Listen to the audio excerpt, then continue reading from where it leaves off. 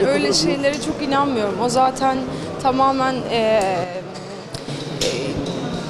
değişik haber yapan bir e, anlayış e, Twitter accountundan çıkan bir haber. Gerçek olduğunu düşünmüyorum. Daha önceden benimle de ilgili öyle şeyler yapmışlardı. Ben sevdiğim şeyleri yapıyorum. Sevdiğim şeyleri yapınca takdir görmek de beni mutlu ediyor. Bu kadar. Herkesin Eleştirilere dikkat eder misiniz çok? Yorumlara.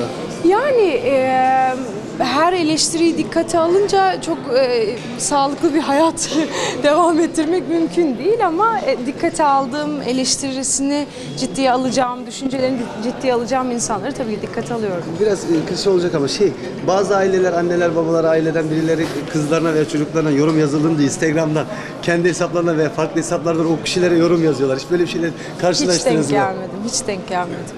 Ama uğraşmak güç gerçekten onlarla. Çok teşekkür Çok ben teşekkür ederim. Kolay gelsin. Sağ olun. Sağ olun. Tolga nereye gidiyorsun Tolga?